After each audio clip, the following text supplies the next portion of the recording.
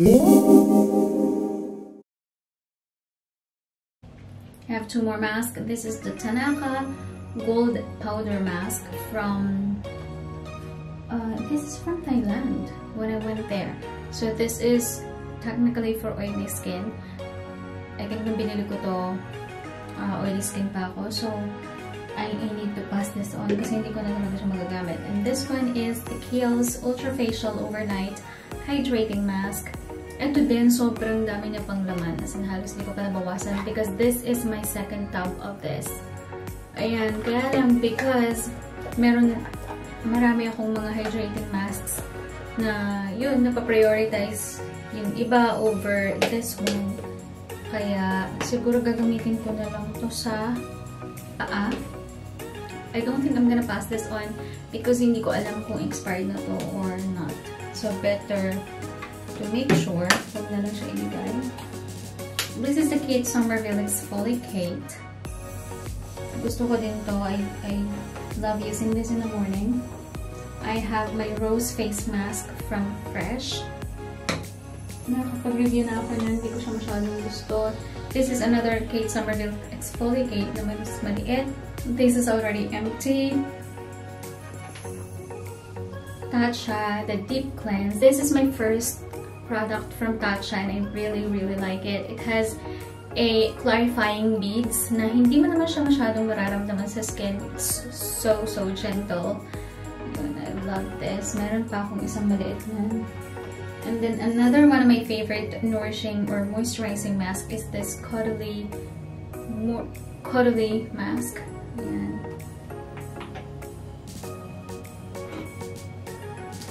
The La Creme or the Immortelle Biologic Cream Mask from L'Occitane. It looks like that. It's a very thick hydrating mask. It's made out of shea butter. So if you really have dry skin, you can use this. But it break out from shea butter kung magtatagal siya sa skin ko. But used as a mask, which will stay on for only 15 to 20 minutes, I can bear with this. I love this. It's super, super nourishing and hydrating. Running out of space, no more. This is the brand Evercalm Ultra Comforting Rescue Mask. I love this too. Very easy. Parang ka mag-worry na mask na mag, uh, ano ka, if you have super sensitive skin, that is a great help. Another Clarisonic Skin Illuminating Cleanser, Sonic Radiance Brightening Solution. So, I didn't know na ang Clarisonic pala is meron silang skincare product. Akala ko meron lang sila nung tools. But, apparently they have. So, I have this. I think nabili ko to when I bought the, my Clarisonic. And hindi ko naman siya nagamit. Oh, but it's a very nice... Ah, it's a cream cleanser pala. Kala ko foaming cleanser ito. Foaming cleansing milk. Ah, I'm gonna try this out. I might give it another try. This is the Body Fit Anti-Cellulite Contouring Expert ng Clarins. Hindi ko pa siya na-open. Feeling ko kasi, parang sabi ko kasi magda-diet muna ako and then magpapapait ng konti. And then saka ako gagamitin because yung mga cellulites and parang ma-tighten and ma-firm yung skin kung saan medyo kapumayat. But mukhang hindi na darating yung panahon. Napapayat ako. So, sige nga, gamitin na lang natin to. Ooh, this is a Snail White Body Booster SPF 30. Matagal ko na nabili ito. This is my second bottle. And it's empty. This is a Heritage Rose Petals Rose Water. Rose Water Mist. Yan. Meron akong so sobrang tagal na sa taguan o dito sa ano nagdumi na. I think this is already expired so I'm gonna throw this away. Clarins Spray na sunscreen. Nagustuhan ko rin naman siya. Clinique Deep Comfort Hand and Cuticle Cream. This is what I've been using ko nandito ako sa bathroom. Tapos, this is the Avon Feeling Fresh 4-in-1 Whitening. Ang nag-recommend dito sa akin yung kapatid ko and yung nanay ko kasi they've been using this. So, umuwi ako, I think a year ago, umuwi ako sa Pinas, bumili ako ng apat.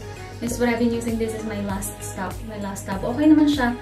I didn't yung sabi nila may whitening, di ba? Hindi ko naman na-notice na may whitening but I love this as a deodorant. Tapos, this is the Bello Intensive Whitening BB Body Cream. Instantly Flawless Arms and Legs. Ginagamit ko minsan kapag naka-interest ako. Garnier Ambre Solaire Protection Lotion. This is SPF for the body. And I like this. This was recommended by Dr. Nakalimutan ko anong name niya, but I followed her on Instagram because she is the owner of Shifa skincare line and I love Shifa skincare line. Nagamit ko na siya before. And she is very knowledgeable and she's imparting skincare and wellness knowledge to her followers on IG. So I want to follow her and uh, I'm getting some of her recommendations. This is one of them, the Schmidt's charcoal plus magnesium natural deodorant. Sabi na kasi, it will whiten your underarm with a prolonged use. So, bumili ako, nakita ko to sa iHerb. But, napansin ko, since this is a black charcoal, ayan o, ganyan siya. Parang, after a week, nangingitim yung kilikili ko, which is hindi naman ganun kaitim yung kilikili ko. Hindi, hindi siya maputi, hindi rin siya maitim. Parang normal na color ko lang. So, parang, sabi ko, bakit ganun? Tapos, tinanong ko siya, minessage ko, sa, minessage ko siya sa IG. Sabi ko, parang umiitim yung kilikili ko dito. Sabi niya, it's not supposed to darken your underarm. Yun lang ang sabi niya. Tapos sabi niya, stop using it na lang. So, in-stop ko na lang. This is the Sisley Golden Dry Oil for body, face, and hair. Yung ginagamit ko siya kapag uh, minsan nakadress ako. Yan, in conjunction with this Nooks dry oil din, na multi-purpose din, na shimmery. Diba, parang yung nag-shimmer-shimmer ang yung legs. Ito, I bought this, the Certified Organic Jojoba Oil. Binili ko siya nung time na super oily ako. So, I think, hindi ko na siya, never ko namang na-try. Ewan ko ba, parang gagamitin ko to kasi jojoba oil mimics the same uh, oil na pinuproduce ng skin mo, ba? Diba? Hindi ko naman siya nagamit. Sabi ko, gagamitin ko na lang siya sa cleansing oil or um, oil for my hair. So, pwede din naman. Human Nature 100% premium deodorant. Ayan. Hindi ko na rin siya, hindi ko na siya masyadong nagamit and I think na-expired na siya. So, have to throw this away. This is the FCUK Shimmer Body Lotion. Hindi ko na din masyadong nagagamit. Another anti-perspirant, anti-odorant cream from Kiehl's naman this time. I think gusto gusto to ng kapatid ko. Yan, no? Cream deodorant, ganyan. Tapos, ayan. And then, iwa-wipe mo. Hindi ko pa siya masyadong natatry. So, hindi ko masyadong mabibigay ang info. But, my, uh, my sister loves that. Now, this is a Salvatore Ferragamo body lotion. Binibigyan lang ako nito ng mga friends ko na nagta-travel. Kasi nakukuha nila sa hotel. But, but this is a Ferragamo body lotion. So, nice. Hindi ko naman siya nagamit pa. Colab Dry Shampoo. Hindi mawawala. I also have the Kerastase Anti-Frizz, Anti-Humidity Smoothing Taming Milk. Ito yung ginagamit ko sa hair ko along with, after maligo, along with the BioSilk Silk Therapy. May buhok pa. Ayan. So, pinagko-combine ko siya. Ito, wala na itong laman eh. Naglabas na ako ng bago, yung kulay green naman. But hindi ko siya makita kung nasan. Another um, hand cream na ginagamit ko here sa bathroom. This is from But Bottega Verde. Bottega Verde. I'm not sure how to pronounce that. Olaplex Hair Perfector number 3. In-order ko ito kay Ultimate Beauty Wish I think 3 months ago. Hindi ko siya masyadong na-test out. Hindi ko siya masyadong nagagamit nga eh. So I have to you have to remind me na mag magamit siya para for a healthier hair. Hair Removal Cream from Some by Me. Pinrovide to ni Flawless. Yan, pinrovide ko ni Flawless for a review. Kaya lang ginamit ko siya nung nasa hotel kami sa Lapita before swimming kasi malago na yung masyado nang mahaba yung hair ko sa binti. And then, sobrang baho. yung amoy na talaga hindi ko kaya. So, ayan, hindi ko siya nagagamit. Let me know kung meron sa inyong gustong mag-try nito. Natari-remove niya naman yung hair, but it's not as easy to use as the other hair removal cream siguro na ginagamit ng iba. Like, yung kapatid ko ginagamit niya is the Veet.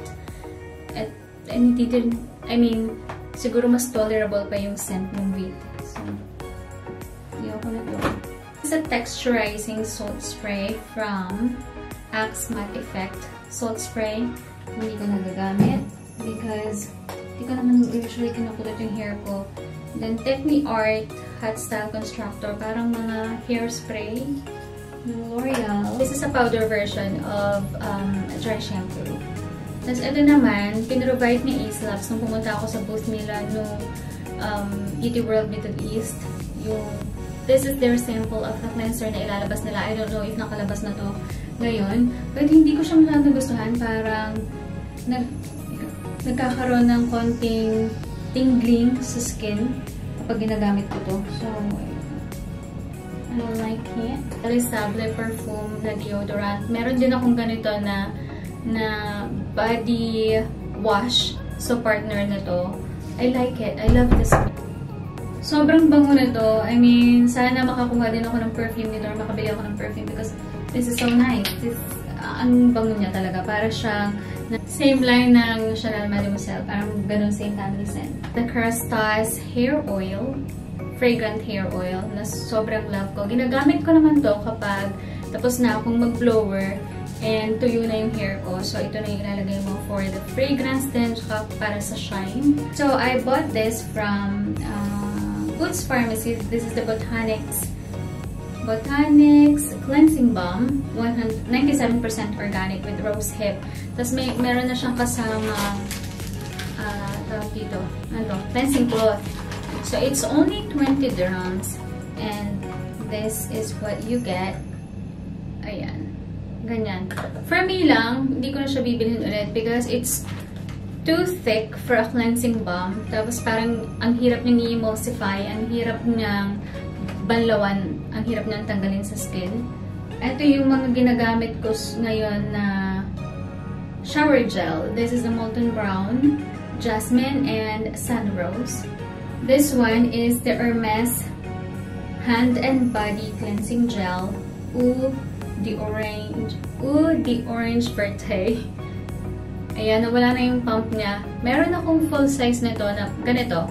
This is naman the travel size. Na nagdedecant ako nito. Sinasalin ko dito kapag nagta-travel ako for how many days? For ilang days lang. Meron ako before na parang full size nito. Nung nag-travel kami ng Italy, sa Italy na Airbnb ko siya naiwan. So, sana nakuha ni Kabayan. I think I'm gonna stop from there kasi magiging sobrang haba na ng video na to.